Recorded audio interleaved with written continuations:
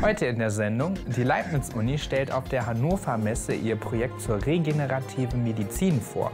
Außerdem Pflanzen statt Pauken. Die IGS Lehrte bepflanzt ihren Schulacker.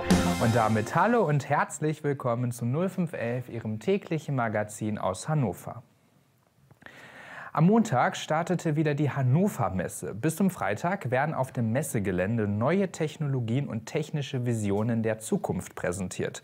Auch die Leibniz-Uni ist mit spannenden Projekten vor Ort. Eines davon befasst sich mit der Nutzung der Selbstheilungskräfte des menschlichen Körpers. Mein Kollege Ben Lehmann weiß mehr. Lösungen für eine vernetzte und klimaneutrale Industrie. Unter diesem Motto stellen rund 4000 Unternehmen aus dem Maschinenbau, der Elektro- und Digitalindustrie sowie der Energiewirtschaft ihre neuesten Technologien vor. Die Hannover Messe greift die drängenden Themen der Industrie auf. Von Klimawandel über Energieknappheit bis hin zum Fachkräftemangel und der Automatisierung komplexer Produktionsprozesse. Auch die Leibniz-Universität Hannover ist vor Ort und stellt ihre aktuellen Projekte vor. Beispielsweise die Herstellung patientenspezifischer Implantate aus Eigenblutspenden. Was sich dahinter verbirgt, erklärt Jan Drechsler, wissenschaftlicher Mitarbeiter der Uni Hannover. Bei den Implantaten handelt es sich um Gefäßprothesen, also die wir benutzen, um äh, Gefäße zu ersetzen. Und wir haben bei jeder Gefäßprothese natürlich das Problem, dass wir eine Abstoßungsreaktion haben, weil wir einen Fremdkörper in den Körper einbringen. Und das Ganze versuchen wir zu vermeiden, indem wir eben Implantate aus Eigenblut herstellen, also aus dem Blut, das wir dem Patienten selbst entnehmen. Herkömmliche Gefäßprothesen stellen Ärztinnen und nicht zuletzt auch dem menschlichen Körper vor Probleme. Also wenn Blut in Kontakt kommt zu, äh, zu künstlichen Materialien, die nicht in den Körper gehören, dann setzt sich auf dem äh, künstlichen Material immer eine Schicht ab aus Protein. Und auf diese Schicht setzt sich dann noch eine Gewebeschicht ab, bei Gefäßprothesen zum Beispiel. Und diese kann eben dafür sorgen, bei kleinen Gefäßen, dass die Gefäße komplett verschließen und dann wieder ersetzt werden müssen. Dies soll die neue Technologie verhindern. Nachdem einem Menschen Blut entnommen wurde, werden die Blutproteine in einem Elektrospinnprozess zu Implantaten verarbeitet. Die Verfestigung der Proteine ist dabei vom körpereigenen Gerinnungsprozess inspiriert. Das sind alles, äh, alles Modelle hier, die wir im Elektrospinnprozess äh, erzeugt haben, mit dem wir auch das Blut verarbeiten. Äh, wir können, es gibt dabei immer einen Kollektor, auf dem die Fasern abgelegt werden. Und diesen Kollektor können wir im Prinzip äh, eine beliebige Form geben und können eben damit auch die Form vom späteren Implantat vorgeben. Zum Beispiel hier kann man erkennen, wir haben verschiedene Formen von Gefäßprothesen. Einmal diese Ziehharmonika-artige Struktur hier. Wir haben auch sogenannte äh, Bifurkation. Das bedeutet einfach, dass sich ein Gefäß auf mehrere Gefäße aufteilt. Oder wir können auch zum Beispiel äh, Gefäßstrukturen wie Herzklappen hier erzeugen mit diesem Verfahren. Für eine kleine Prothese reichen 150 Milliliter Blut der PatientInnen. In einem medizinischen Notfall entscheiden Minuten über Leben und Tod. Manchmal müssen Gefäßstrukturen wie beispielsweise Herzklappen schnell verfügbar sein. Wie schnell ein Implantat hergestellt werden kann, spielt dabei eine entscheidende Rolle. Gerade sind wir dabei natürlich, äh, diese Prothesen in Serien herzustellen, jeweils vom Blut. Deshalb arbeiten wir mit größeren äh, Volumen. Aber wenn man das runterrechnet auf eine Prothese, dann können wir das binnen ein bis zwei Stunden auf jeden Fall leisten, so eine Prothese herzustellen. An dem Projekt forscht die Uni Hannover seit rund vier Jahren. Die bisherigen Ergebnisse sind überzeugend. Auf der Hannover Messe soll das Verfahren nun bekannt gemacht werden und auf das Interesse von Unternehmen stoßen, um gemeinsam weiter an den Gefäßimplantaten zu forschen. Eine Innenstadt lebt von ihrem großen und vielseitigen Angebot, von seinen zahlreichen Geschäften und der Gastronomie. Doch in letzter Zeit sieht man in Hannovers Innenstadt immer mehr Leerstand. Erst Karstadt, dann Kaufhof, Konrad und jetzt auch H&M. Corona, Inflation und die Konkurrenz aus dem Internet machen dem Einzelhandel ordentlich zu schaffen. Die Linke Hannover kritisiert den Umgang der Stadt mit diesem Problem. Zu diesem Thema begrüße ich im Studio jetzt Dirk Machentanz, Vorsitzender der Ratsfraktion der Linken. Guten Tag, Herr Machentanz. Guten Tag, Herr Euler. Vielen Dank für die Einladung. Ja, am Anfang der Woche kam ja die Meldung, ähm, die beliebte schwedische Modekette H&M schließt eine ihrer größten Filialen hier in Hannover. Ähm, ja, man könnte ja meinen, noch mehr Leerstand, oder? Ja, das bedeutet natürlich äh, noch mehr Leerstand und ähm, es führt auch dazu, dass die ähm, Innenstadt weniger attraktiv ist. Ähm, es ist ja jetzt nach Konrad das zweite Fachgeschäft, was fehlt. Und ähm, wir haben auch zusätzlich ja noch das Kaufhaussterben. Und äh, dann wird es äh, zunehmend auch unattraktiver für die Menschen in die Innenstadt zu gehen, da sie ja jetzt sowieso eigentlich schon meist äh, bei Amazon einkaufen und äh, online bestellen. Was bedeutet denn der Leerstand ähm, genau für die Wirtschaft und für die Menschen in Hannover? Also es bedeutet natürlich einen äh, großen Jobverlust. Ähm, die Menschen, die im Einzelhandel arbeiten, verlieren ja ihre Arbeitsplätze. Ähm, es äh, fließt ein Haufen Kaufkraft aus Hannover raus. Ähm, die Innenstadt ist ja nicht nur für Hannover, sondern für die Region und für das gesamte Umland äh, Hannovers bedeutend als Einkaufsstandort. Aber kann der ähm, Wandel der Innenstadt nicht vielleicht auch eine Chance sein für mehr Diversität, für andere Geschäfte? Ich meine, wer braucht schon innerhalb von 100 Metern dreimal den gleichen Laden? Naja, ähm, vielleicht haben Sie bei den Kaufhäusern äh, recht, aber es geht ja halt auch um die Fachgeschäfte wie H&M und Konrad. Also, dass man, wenn man in die Innenstadt geht, äh, bei Konrad konnte man auch jedes Elektro-Kleinstteil kaufen, was man gerade brauchte. Und das fehlt ja jetzt. Ähm, das ist ja dann eigentlich der Anlass, in die Innenstadt zu gehen.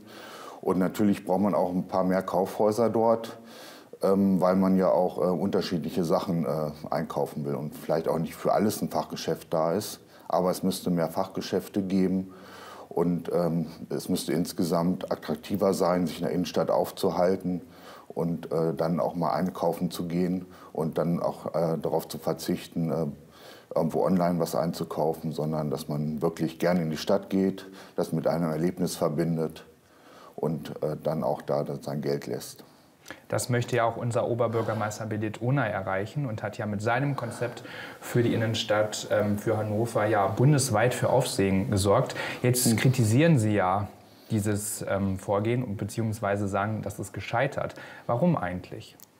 Naja, also ähm, er hätte ja jetzt mit den Geschäftsleuten äh, reden müssen und äh, dann hätte das mit H&M vielleicht auch verhindert werden können, wenn er äh, dort Werbung ähm, für die Innenstadt gemacht hätte, für sein Konzept. Das hat ja jetzt ähm, offensichtlich nicht geklappt. Also es hat sich ja äh, niemand davon abhalten lassen, äh, aus Hannover ähm, ab, abzuziehen quasi. Und äh, da müsste halt äh, viel mehr kommen. Also ähm, es, es, gibt natürlich schon gute Ansätze mit dem Kulturdreieck. Ähm, da ist aber halt auch das Problem, dass es natürlich ähm, zu eingeschränkt ist in einem Teil der Innenstadt. Ähm, das müsste schon ähm, ein bisschen ähm, mehr ineinander gehen. Ähm, zum Beispiel die Kulturblase, das ist ein gutes Projekt. Äh, sowas müsste natürlich dann kontinuierlich weitergeführt werden. Und man müsste auch überlegen, ob man nicht äh, Kultur direkt in die Innenstadt kriegt und ob man das Gastronomieangebot nicht wesentlich hochwertiger gestalten müsste. Jetzt frage ich Sie aber, was kann denn der Oberbürgermeister dafür, wenn jetzt H&M gesagt hat, wir schließen jetzt die Filiale? Ich meine, das war ja eine Entscheidung des Unternehmens und nicht des Oberbürgermeisters, oder? Naja, ein Oberbürgermeister muss natürlich, äh, wenn er schon so großen Innenstadtdialog macht, äh, auch mit äh, allen Beteiligten reden und auch ähm, irgendwie erfolgreich sein, um die davon abzuhalten, ähm, nicht an die Zukunft der Innenstadt Hannover zu glauben. Und äh, das ist äh, zu wenig geschehen. Und er hätte da auch äh, zum Beispiel die Region mit Hannover Impuls äh, stärker einbinden müssen. H&M ist ja nicht ganz unumstritten, gerade jetzt auch ähm, vor kurzem in der Kritik auch Verdi kritisiert, die Arbeitsbedingungen zum Beispiel bei H&M. Jetzt frage ich Sie, also fordert die Linke Hannover Anreize dafür, ähm, dass Großunternehmen, auch umstrittene große Unternehmen, hier in Hannover sich niederlassen? Naja, ähm, äh, wir fordern natürlich, äh, dass sich die Arbeitsbedingungen in solchen Unternehmen ändern. Ne? Also, aber wenn wir jetzt HM und Amazon vergleichen, äh, dann haben wir bei Amazon äh, wahrlich keine besseren Arbeitsbedingungen, sondern sogar noch schlechtere.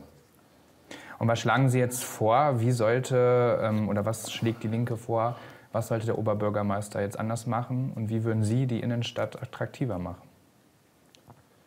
Also ähm, er sollte jetzt ähm, auf alle Fälle auch die Innenstadt und äh, auch das E-Mail-Zentrum zur Chefsache erklären und äh, in Dialog mit allen Beteiligten gehen. Also ähm, beim Innenstadtdialog war ja zum Beispiel äh, die Ratspolitik gar nicht beteiligt äh, oder beziehungsweise erst sehr spät. Ähm, das müsste anders gemacht werden. Und, und, und Was würden Sie anders machen? Also als Oberbürgermeister ähm, würde ich äh, Einzelgespräche mit allen großen Playern äh, in der Innenstadt suchen und, ähm, und mir auch, äh, mich auch beraten lassen, ähm, wie so eine Innenstadt heutzutage funktioniert. Also äh, man kann in Rotterdam sehen, da ist ein Prozess, äh, wenn was nicht funktioniert, dann wird es verbessert und das fehlt so ein bisschen in Hannover. Herr Machentanz, vielen Dank für das Gespräch. Ich danke für das Gespräch. Wo kommt eigentlich unser Gemüse her? Na, aus dem Supermarkt, sagen da viele. Dass das nicht so ist, versucht die Bildungsinitiative Gemüseakademie SchülerInnen zu vermitteln. Die IGS Lehrte ist eine von vielen Schulen in Niedersachsen, die an diesem Projekt teilnehmen und einen eigenen Schulacker betreiben. Diese Woche war in Lehrte Pflanzstart und ich habe den SchülerInnen beim Pflanzen mal über die Schulter geschaut. Pflanzen statt Pauken. Unterricht mal anders. Für den Weiflich-Kurs Gemüsegarten des neunten Jahrgangs der IGES Lehrte stand heute das große Pflanzen auf dem Stundenplan. Gemeinsam mit Lehrerin Frau Gran ging es aufs Feld, um die ersten Gemüsepflanzen zu setzen. Äh, wir kommen jede Woche hierher, zumindest im Sommer. Äh, Im Herbst, im Winter ist es ein bisschen Theorie mehr. Also wie pflanzt man, wo kommen Pflanzen her, wie ernähren die sich. Aber äh, ansonsten haben wir in der Schule noch den WPK Gesunde Ernährung. Der hat im letzten Jahr unsere Ernte verarbeitet zu ja, Gerichten, die die Schüler dann verkostet haben. Die IGS Lehrte ist eine von hunderten Schulen in Deutschland, die an dem Bildungsprogramm Gemüseakademie der Initiative Initiative Acker e.V. teilnehmend. Die Idee dahinter, Schulgärten wieder an Schulen bringen. Vor einem Jahr hatte sich die IGS Lehrte für das Projekt beworben. Jetzt geht der Schulgemüsegarten schon ins zweite Jahr. Wir haben das Projekt über eine Mama vorgestellt bekommen, die einen Flyer gesehen hat. Und dann haben wir uns beworben. Äh, für dieses Projekt, weil es äh, super zu unserer Veränderung äh, passt, die wir vorhaben, halt die Nachhaltigkeit mehr in die Schule zu holen und ähm, ja, zu schauen, dass Kinder halt aktiv lernen und nicht nur mit Büchern und Arbeitsmaterialien. Die Kartoffel hat einen Keim und da sieht man schon, hieraus wächst dann die neue Kartoffel. Ne? Deswegen möglichst so legen oder Jonas fragen, äh, dass der Keim nach oben zeigt. Ne? Also man sieht hier, der, der geht hier schon so ein bisschen rum würde ich sie jetzt einfach hier so, so reinlegen. Nach einer kurzen Einweisung von Ackercoaching Christine kann es losgehen. Spaten in die Hand und ran an den Acker. Gepflanzt werden Kartoffeln, Kohlrabi und Salat. Später kommen noch Tomaten und Zucchini dazu. Die Schüler sollen eigentlich lernen, wo kommen unsere Lebensmittel her? Also was wächst in der Erde, wie wächst es in der Erde, was essen wir von einer Pflanze oder was können wir essen. Also von der Möhre kann man ja auch das Grün essen als Pesto. Ähm, und einfach so ein bisschen den Gegenpol vielleicht zu sein von dieser sehr kopflastigen digitalen Welt, um sich einfach wieder mit den Händen zu erden. Raus aus der Schule, ab an die frische Luft und auch mal die Hände schmutzig machen. Der Schulacker befindet sich nicht in der Nähe der Schule, sondern auf dem Gelände des Gemeinschaftsnachhaltigkeitsprojekts Hof 12 im alten Dorf in Lehrte.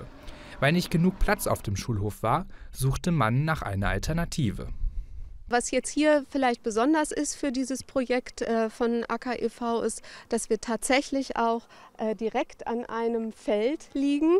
Das heißt eben nicht innerstädtisch an einem Schulhof sind, sondern die Kinder haben wirklich den äh, Blick bis zum Horizont und wir haben hier auch tatsächlich, wenn das Wetter dementsprechend ist, den Brockenblick. Also können tatsächlich auch ähm, bis zum Harz sogar gucken an bestimmten Tagen im Jahr.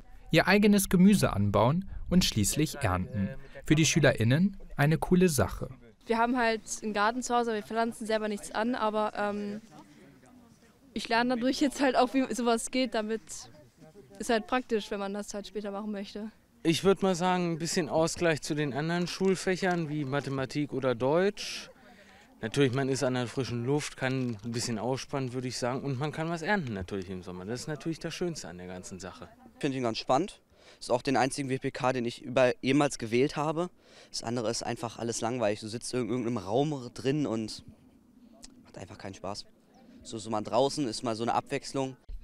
Nach gut zwei Stunden sind alle Gemüsesorten in die Erde gebracht. In wenigen Monaten kann geerntet werden. Bis dahin heißt es erstmal abwarten, gießen und dem Gemüse beim Wachsen zusehen.